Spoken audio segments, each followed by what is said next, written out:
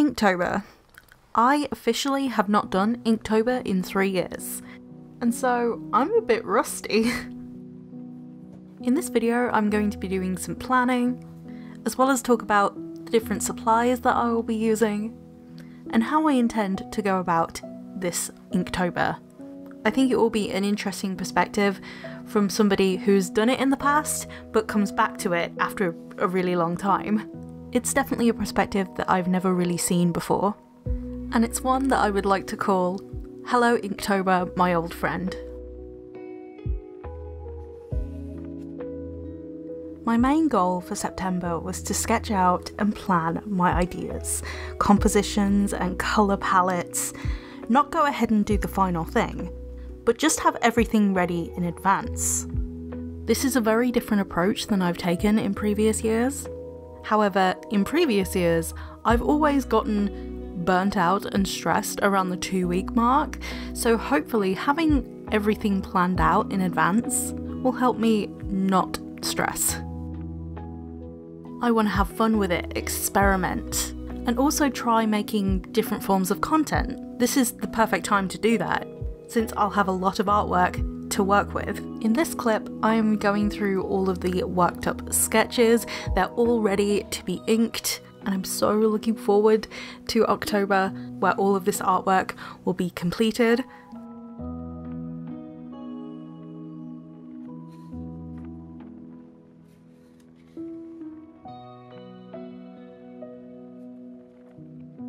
The sketchbook I'm doing my final illustrations in is the I'm going to mispronounce this, Tumuata Square watercolour sketchbook. This sketchbook's paper has a 25% cotton blend that's cold press. The only downside is that it's 24 pages. I'll be using the back of every third page. This is so I can do all 31 prompts for Inktober. I really hope that this paper is up to the task. In the last few years, the official prompts for Inktober have not really sparked any inspiration. However, this year, when I looked over the prompts, a lot of them won me over. But there is a similarity to previous years that I would like to bring up. In previous years, I've actually made it about my character universe, and that is something that has stayed for this Inktober. I didn't want to go as abstract as I have done in the past. I wanted to be a little bit more literal, but still have that room to play around with the prompt. For example, day 7, Drip, the character, Sonia, is holding an umbrella and the composition is the main focus. She's looking up where the rain drips down. I know in previous years I've been known for my use of colour, so hopefully I can still keep that up. But this year I definitely wanted to play around with more compositions. You'll notice that the difference this year is that it's a square composition instead of a portrait A5 composition. Even at A5, compositions can be incredibly intimidating and I have a tendency to overthink things way too much. So downsizing the final pieces to a square composition in a smaller book allows me to still keep it simple but allow me to experiment with different elements of each piece. And this is where I busted out my markers. Specifically, my Ohuhu markers. I do intend to use them for Inktober. I do not know how the final sketchbook's paper will deal with markers though, so I'm going to use them sparingly. At least until I know how well the paper can take it.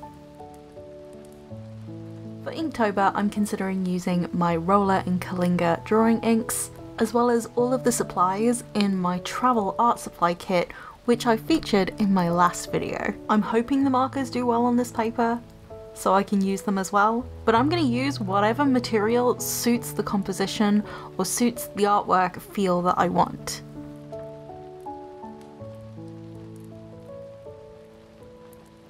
In my colour compositions, I'm mapping out the lighting and the general atmosphere I want the piece to have. These compositions are for the prompt Fortune, which is day 10. The purple and gold have this very mystical, magical sort of feel, which is exactly what I was going for. My technique when it comes to colour usually has a focus on contrast to create visual interest and depth. My use of colour usually limits the amount of colours that I have in a piece as well as complementary colours. In this piece I'm using complementary colours to really emphasise the contrast in the lighting and the background.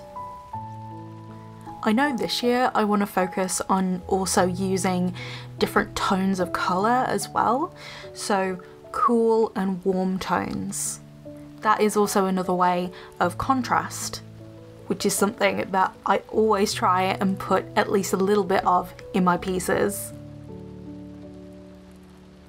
You may have noticed in this video that there are a lot of different camera angles. That is because I'm trying to experiment with my filming style, and I'd love to know what you think of it down below in the comments. This is a very different style of filming and sort of editing for me, so I'd love to know what you guys think.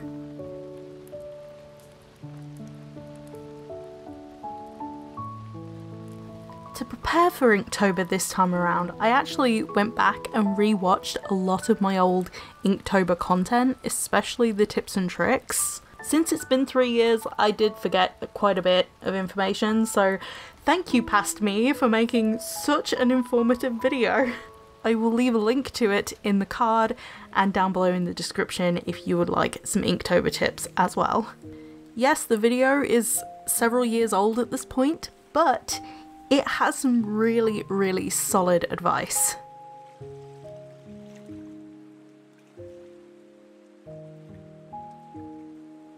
I have way too many unfinished sketchbooks, so instead of starting a brand new development sketchbook, I just used one of the current ones that I already have, that one being the Bailey J Witch Hat sketchbook that I started summer of last year.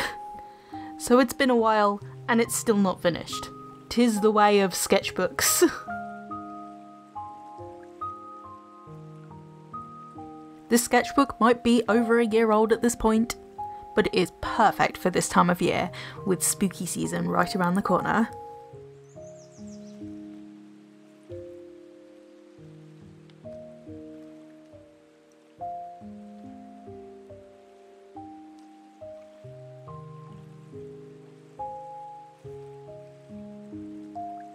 So, a third of the way through all of the Inktober development, I switched over from my sketchbook to an iPad Pro. I recently just treated myself to an iPad from a well known second-hand store here in the UK known as CEX, alongside an Apple Pencil and a new camera. That's probably why at least some of the footage for this video looks mwah, it, look, it looks so so pretty. I am still learning how to use this camera though, so bear with me. But the iPad with Procreate on it and the Apple Pencil combined, why have I been holding off this time? I will never know, because it is a game changer. And even though I've switched from my sketchbook to the iPad, I still kept the same sketching style in mind. Doing it on the iPad actually allowed me to experiment with the scale within the composition without having to erase it or just redraw things. Another advantage of an iPad is just the portability in general. Now I can say I'm officially done with the rough draft stage of Inktober, which feels amazing. Don't get me wrong, I still have work to do during October with doing a piece of artwork every single day of October, but at least I don't have to think about the planning stage. In previous years, that would have taken up majority of my day. And the amount of thumbnails I have over my sketchbook and two Procreate files is insane. I just finished counting and it was 156 thumbnails. So that means out of the 31 days, there is still 125 thumbnails that did not get used. At the time of recording this, I only had up to day 27, but as of recording this voiceover, the rough stage is done. and the advantage of having so many different thumbnails is that if I change my mind, I can just go to any of the 125 other ideas that I just didn't use. Let me know down below in the comments if you're doing Inktober as well, because I would love to follow your journey. And if you would like to keep up to date with my Inktober journey, I will be posting on my Instagram. You can follow me there at Snowy Marriner, and you can also subscribe to the channel to keep up to date with the videos I post. But until then, I will see you in my next video. Bye guys!